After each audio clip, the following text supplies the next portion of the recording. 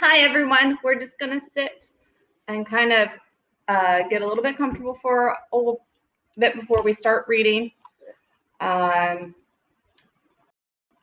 I hope you're having a wonderful and safe weekend. Uh, today's books are brought to you by my favorite uh, show growing up, Reading Rainbow. Uh, we're always we're gonna take a look what's in the book. Uh, again, my kids are gonna sit with me as long as they have patience. You know how they are. You might see them running back and forth. Uh, I've got one of my I've got one of my favorite t-shirts on. It's Belle, and we're gonna go into go into adventure in the Great Wide Somewhere. Kaylee, what are you wearing today? I want Belle because there's a parade going on. Oh, there's gonna be a parade today. Yeah. So I had to wear this because I really wanted want to. Oh my goodness. Okay, so And this is my crown with, with let me see. It's Cinderella, Ariel, Belle, Lola. okay, all right. So what's our first book that we're gonna read today? Um, Stellaluna. Stella Luna. Okay, let's get that Stellaluna. All right. So, Kaylee said, Stellaluna. Stella Luna by Janell Cannon.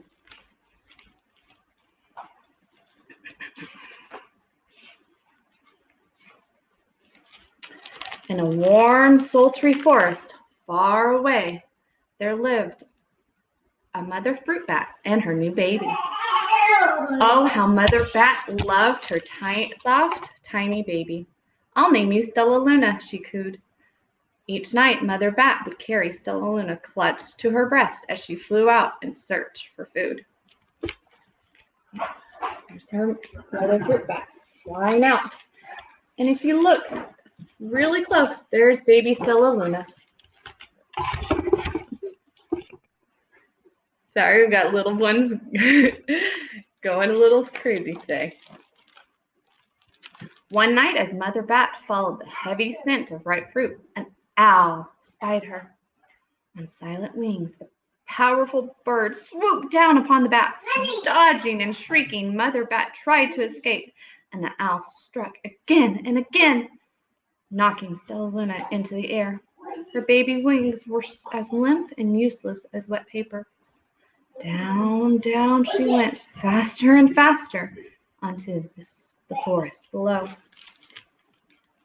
See, there's Stellaluna falling. back and the mother. What do you think's gonna happen to Stellaluna? We don't know. We'll see.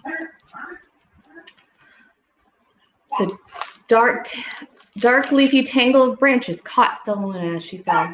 One twig was small enough for Stellaluna's tiny feet. Wrapping her wings around her, she clutched the thin branch, trembling with cold. Mother, Stellaluna squeaked, where are you? By daybreak, the baby bat could hold on no longer. Down, down again, she dropped. See little Stellaluna?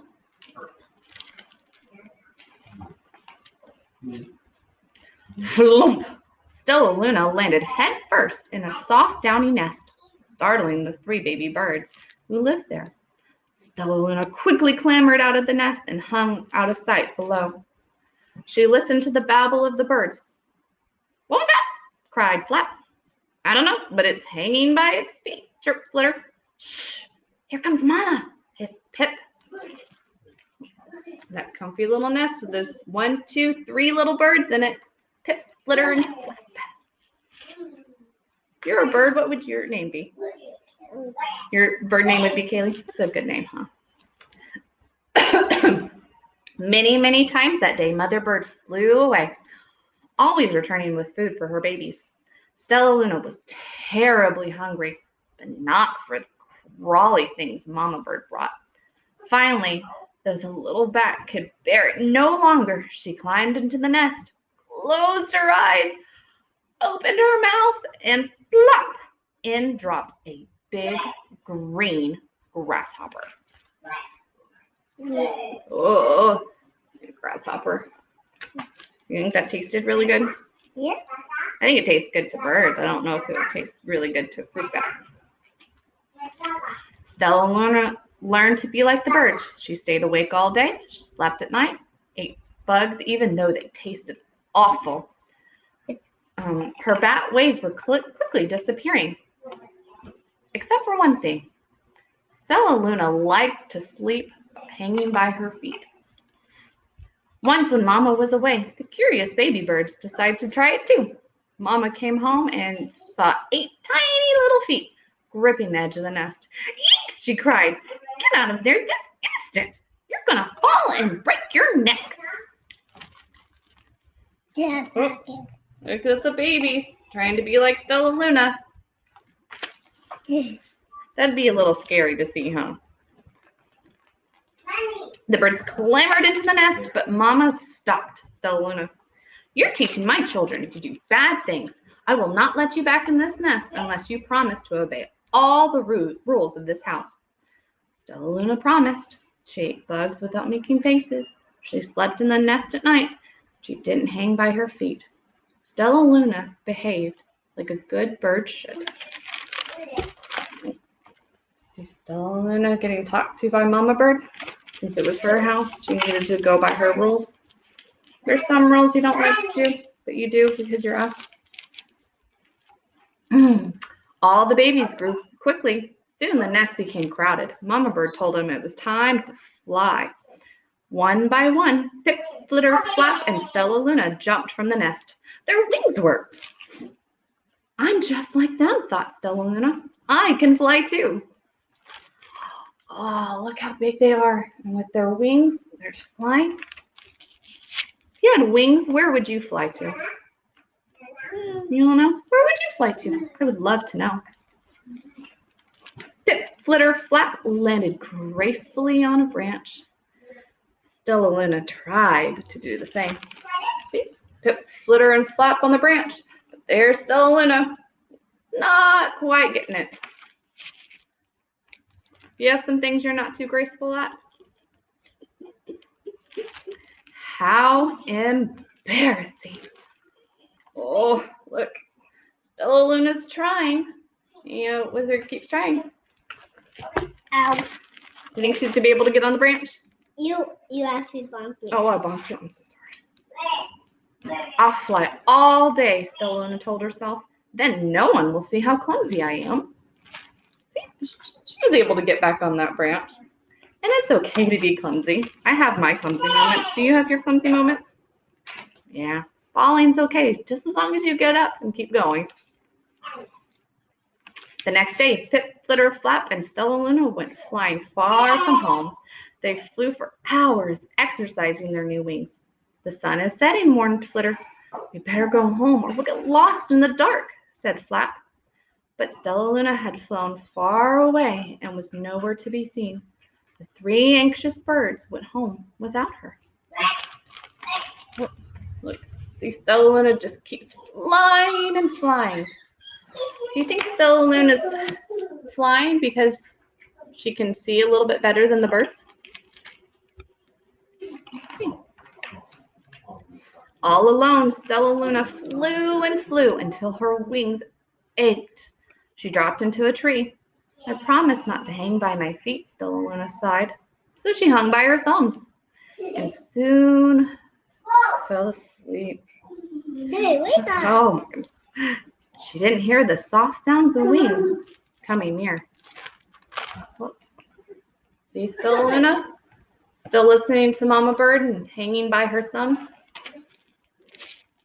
Not by her feet? Hey, a loud voice said. Why are you hanging upside down?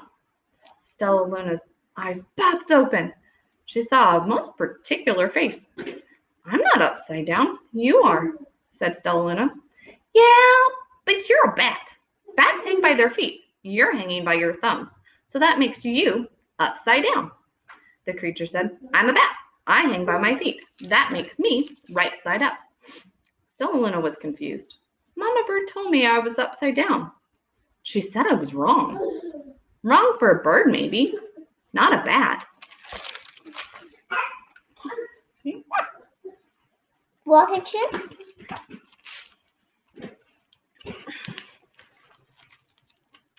More bats gathered around to see the strange young bat who behaved like a bird. Stellaluna told her story. You ate bugs, stuttered one. You slept at night? Gasped another. How very strange, they all muttered. Wait, wait, let me look at this child. The bat pushed through the crowd. Now it attacked you? she asked. Sniffing Stellaluna's fur, she whispered, You are Stellaluna. You are my baby. Did Stellaluna find her mom, or her mom find her finally? Oh, what a wonderful reunion. You escaped the owl, cried Stellaluna. You survived? Yes, said Mother Bat as she wrapped her wings around Stellaluna. Come with me, and I'll show you where to find the most delicious fruit you've ever eaten. You'll never have to eat another bug as long as you live. Oh, they're so happy and full of love to see each other. Oh, thank you so much. Where should that go? Want to go my head? Okay. Okay, I, I love this. I love this. Thank you. but it's nighttime, Selena squeaked. We can't fly in the dark, or we'll crash into trees. We're bats, said Mother Bat. We see in the darkness. Come with us. Stellaluna was afraid, but she let go of the tree and dropped into the deep blue sky. Stellaluna could see. She felt as though rays of light shone from her eyes. She was able to see everything in her path. It looked like Stellaluna has just beams of light coming from her eyes so she can see. Awesome. Soon the bats found a mango tree, and Stellaluna ate as much fruit as she could hold. I'll never eat another bug as long as I live, cheered Stellaluna as she stuffed herself full. I must tell Pip, Flitter, and Flap. Mm, mm. Fruit bats love mangoes. Kaylee, do you like mangoes? Yeah, you do. Does anyone else like mangoes? yeah. The next day, Stellaluna went to visit the birds. Come with me and meet my bat family, said Stellaluna. Okay, agreed Pip. Let's go. They hang by their feet and they fly at night and they eat the best food in the world, Stellaluna exclaimed to the birds on the way. As the birds flew among the bats, Flap said, I feel upside down here. So the birds hung by their feet. Wait until dark, Stellaluna said excitedly. We'll fly at night. Oh, see? Now the birds are all hanging upside down so they can be part of the bat world, huh? When night came, Stellaluna flew away. Pip, Flitter, and Flap leapt from the trees to follow her. I can't see a thing, yelled Pip. Neither can I, hollered Flitter. Ah! shrieked Flap. We're gonna crash! gasped Stellaluna. I must rescue them. Stellaluna swooped about, grabbing her friends in the air. She lifted them up to a tree, and the birds gasped, grasped a branch. Stellaluna hung above, hung from the limb above them. So Stellaluna rescued her friends. You think maybe it's because the birds couldn't see at night? Yeah. Yeah. Is it, you think it's because they don't have the same eyes? No. We're safe, said Stellaluna. and she sighed. I wish you could see in the dark, too. I wish you could land on your feet, Flitter replied. Pip and Flap nodded. They perched in silence for a long time. How can we be so different and feel so much alike? mused Flitter. And how can we be so different and be so alike? wondered Pip. I think it's quite a mystery, said Flap. I agree, said Stellaluna, but we're friends, My and that's a fact. And I, I think getting ready for that. Uh, I think getting ready for the parade. Well, baby, we've got a little bit. We do have a little bit. See, it doesn't matter how different you are, as long as I know. I know we have. Oh no, we're okay. Doesn't matter how different you are, as long as you have love. I think that's all that matters, and you understand each other's differences. Because love is love, huh? I think they love each other even though they're different, but also the same. Yeah, that's pretty awesome. Okay, All right, Kaylee, what's this next book we're going to read? Um. Uh. Gregory the Terrible Eater. Yep, Gregory the Terrible Eater by Mitchell Sharmat, illustrated by Jose Aruego and um, Henri uh, Dewey. Apologize if I butcher some of these names. Okay. Once there was a goat named Gregory. Gregory liked to jump from rock to rock, kick his legs into the air, and butt his head against the wall. I'm an average goat, said Gregory. Say hi, Gregory.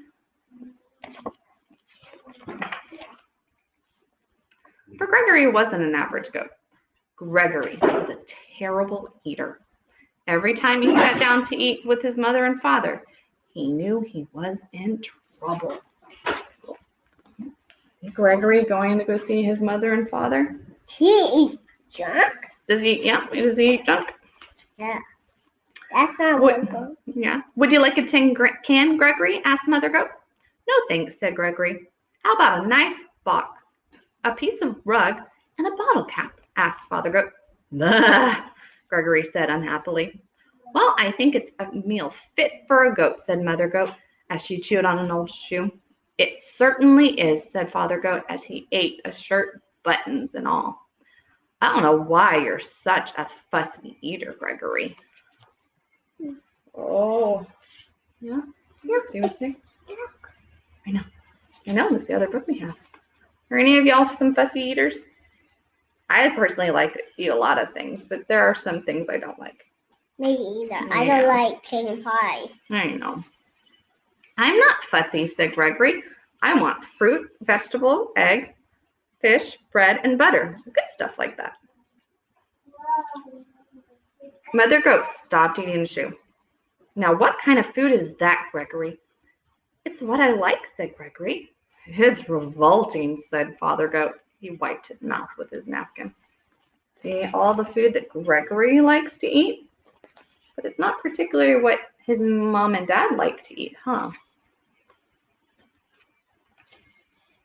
After Gregory was excused from the table, Father Goat said, Gregory is such a terrible eater. I wonder what's wrong with him, said Mother Goat.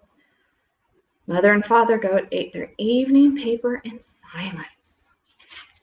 Mother and Father Goat. And there's Gregory, just dreaming about all the yummy foods that he likes to eat, but not necessarily what his parents are going to give him. The next morning, Mother and Father Goat were enjoying a pair of pants and a coat for breakfast. Gregory came to the table. Good morning, Gregory, said his father and, and Mother Goat. Good morning, said Gregory. May I have some orange juice, cereal, and bananas for breakfast, please? Oh, no, Mother Goat said. Do have some of this nice coat. Take a bite out of the pants, said Father Goat. Bah, said Gregory, and he left the table. Father Goat threw down his napkin.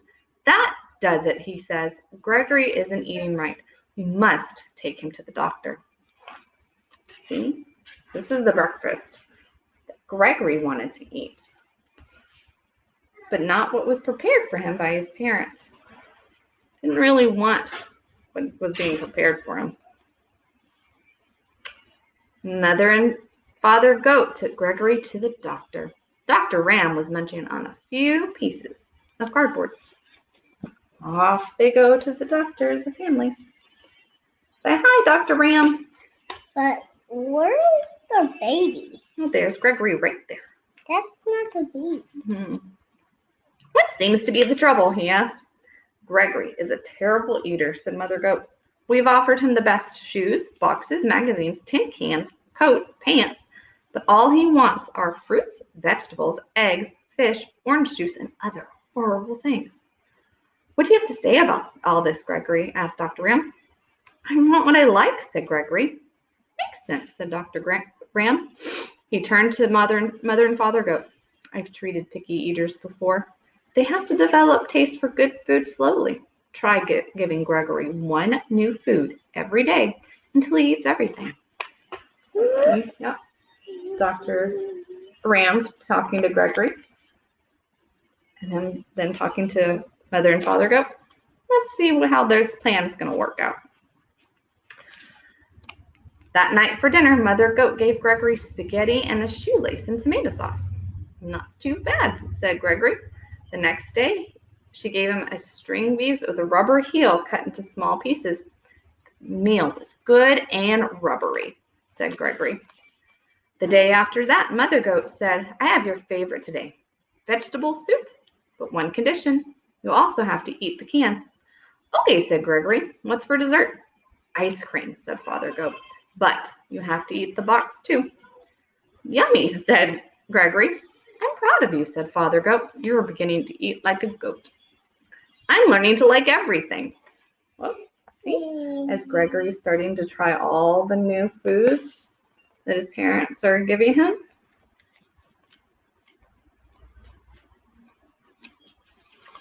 One evening, Father Goat asked, Has anyone seen my striped necktie? Not since breakfast, said Mother Goat. Come to think of it, I haven't seen my sewing basket today. I left it in the living room after supper last night. Gregory turned, or Father Goat turned to Gregory.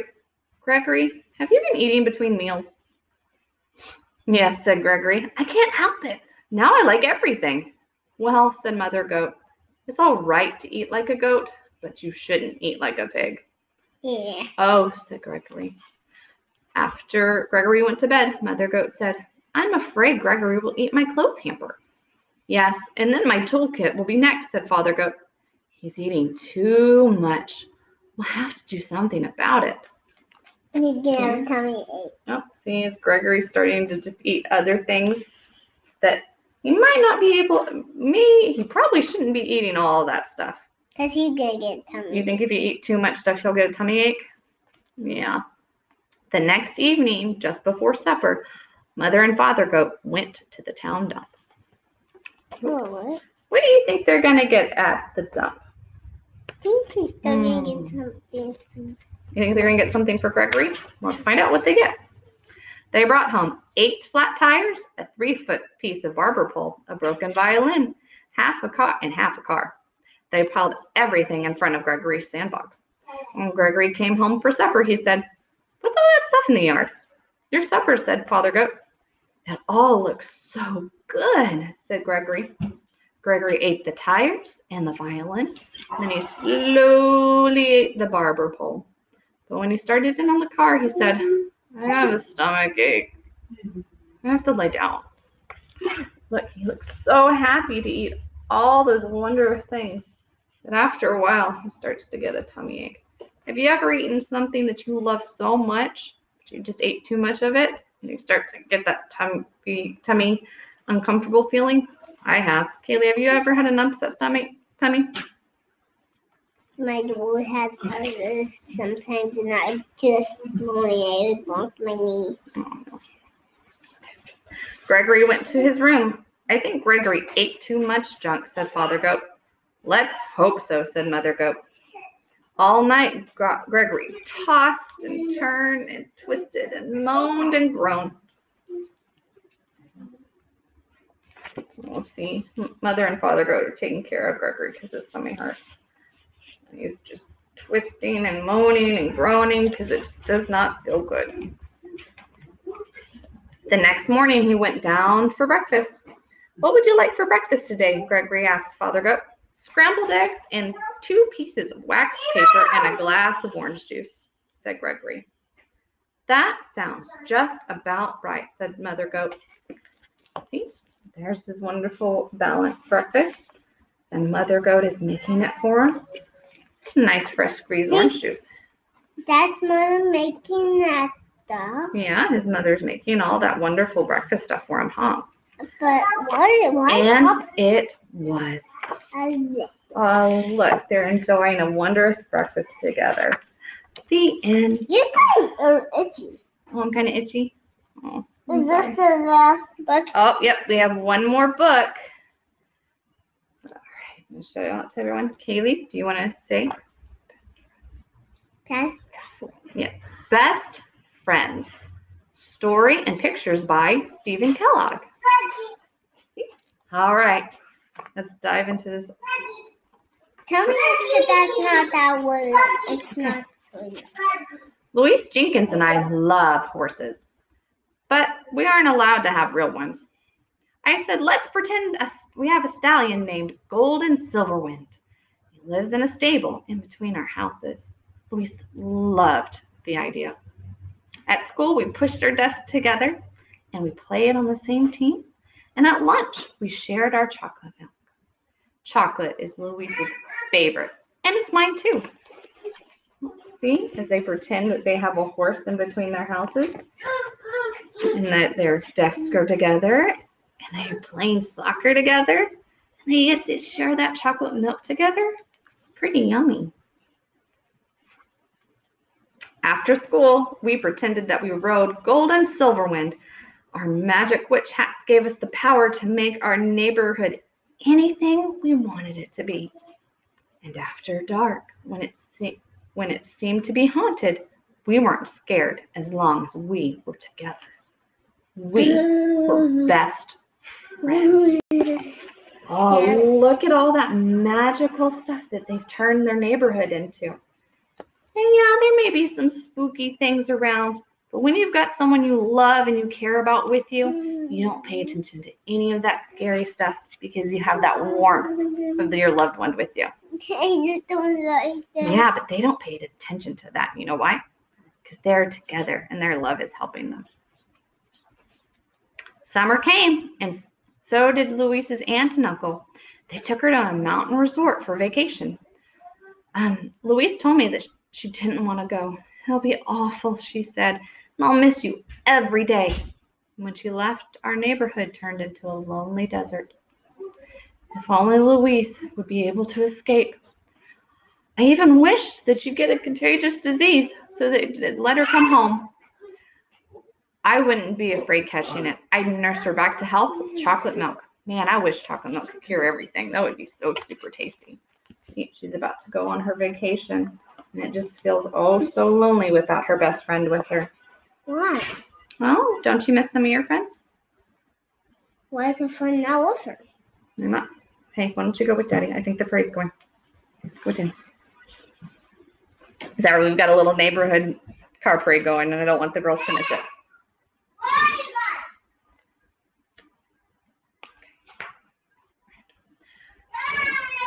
Hold on real quick. I gotta open the door for her.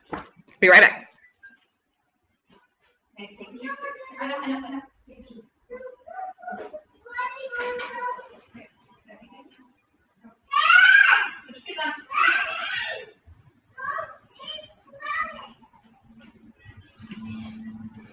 Sorry, guys, I'm back.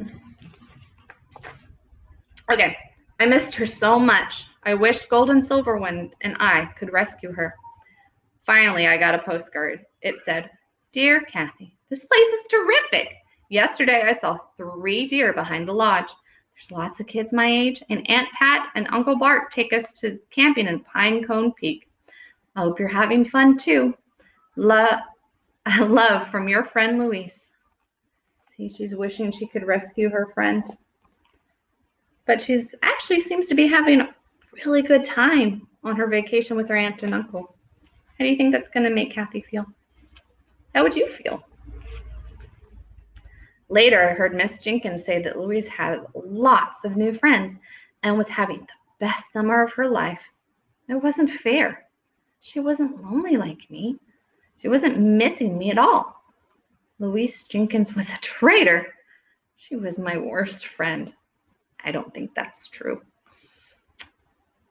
I wish that a volcanic eruption would blast Pine Cone Peak into pebbles. Mm.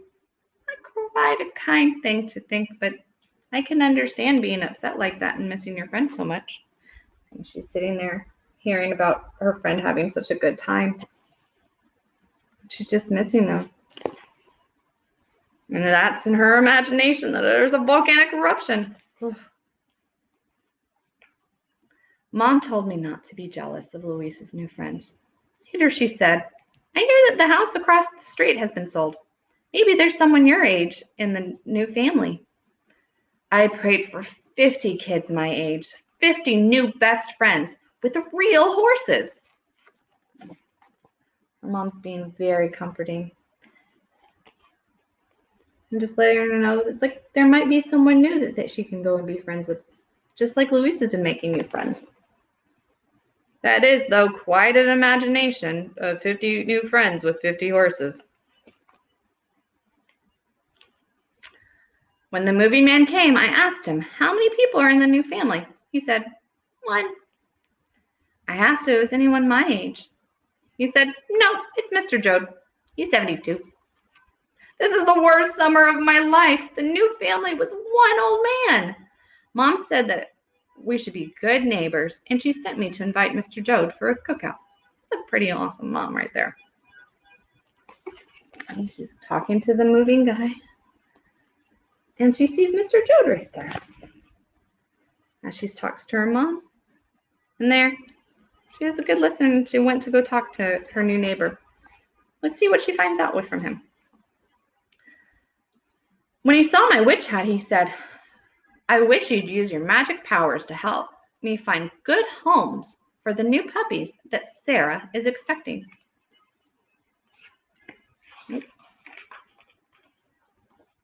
I ran home to ask mom if I could have one. She said yes. I couldn't wait to have a puppy of my own. If Louise Jenkins wanted to play with it after she got back from Pine Cone Peak, I'd say never. That would fix her. That's not very nice, is it? See? But just Sarah. See, Sarah's the dog. And Sarah is pregnant with puppies, huh? Kathy's so excited. Though, I don't know if that's such a nice thing to not want to share with your friends, but I can understand being a little upset. Mr. Joad and I talked how much fun it would be when the puppies were born. I told him I wanted a spotted one, just like Sarah. The first spotted one will be yours, he promised. One day, Mrs. Jenkins showed up and said, I understand that your dog is expecting puppies. I'd like to reserve one for my daughter, Louise. Couldn't stand to think of Louise having one of Sarah's puppies. I told Mr. Joad that I would keep them all. Hmm. See? So excited that she gets to have a puppy. And then when her best friend's mom comes over asking for one too, her reaction's not the greatest because she's wanting to keep it all for herself. Jealousy will do that sometimes, but you shouldn't have to keep everything from someone else just in spite of them. Mr. Joad said, Three years ago, Sarah had eight puppies in one litter. Would your mom want that many dogs? I had to admit that eight dogs would drive my mom crazy. Mr. Joad asked me if I was afraid that Louise wouldn't give her puppy a good home. I had to admit she would give her a good home. Oh, she's imagining that they had eight puppies her mom had to take care of. That's definitely a lot of dogs. And yeah, Kathy's starting to realize that Louise would be a great dog owner. A week later, Louise came home. Her mother had already told her that they were both getting puppies. She was all excited about us raising them together. Next, she started talking about all the campouts at Pine Cone Peak and how her uncle and aunt had already planned a return trip for the following summer. I pretended to be interested in the book. When she told me that she was glad to be home and that she missed me so much, she brought me a red pine cone peak sweatshirt and a sparrow's feather and a rock collection and a whistle on a lanyard that she'd woven herself. I told her how much I missed her, but I didn't tell tell her how mad I was. Kathy is just a little bit upset, still at her friend. But Louise is so grateful to see her best friend again and so excited to share all the wonderful things. I'm glad Kathy kind of realized that she really her friend really loved her and misses her and shouldn't be so mad. But I hope she'd share everything with her. I took Louise to meet her new friends. To, uh, sorry, I took Louise to meet my new friends. I knew they would all like each other. And they did. I said, Aren't Sarah's spots beautiful? I'm going to get her the first puppy that looks like her. A few nights later, Mr. Joad called and said that Sarah was having puppies. By the time we arrived, one puppy had already been born. It was Brown. Mr. Joad handed it to Louise, saying, When he grows up, he'll look like Sarah's mother. Oh, see? Kathy's introducing Louise to Mr. Joad and his dog Sarah. And I get that call that there's puppies. Oh, think that little puppy's gonna go to Louise?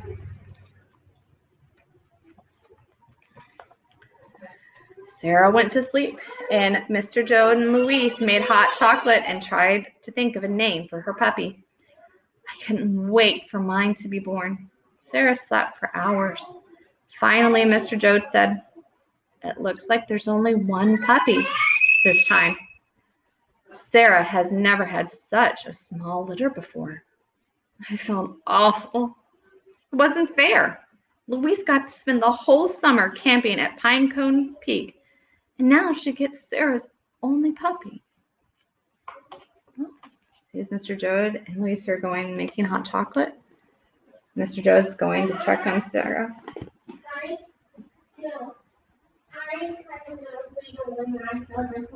Oh no, I'm so sorry. Okay. Oh, good. All right. You're gonna sit here. Okay. I, um, I'm hi everybody. I, I had a nosebleed when I went to the parade. Oh, I'm sorry you had a nosebleed at the parade. Do you want to finish this with us, or do you want to?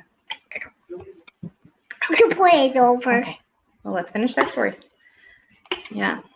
Kath- The parade's Oh, over. okay. yeah, Kathy's really upset that she doesn't get to have a puppy now. Do you think she feels like it's not fair that her friend gets the dog that she's always wanted?